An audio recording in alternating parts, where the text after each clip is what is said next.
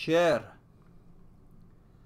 سرمست به میخانه گذر کردم دوش.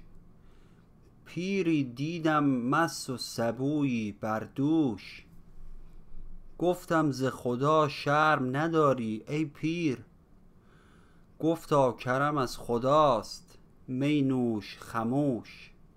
خیام.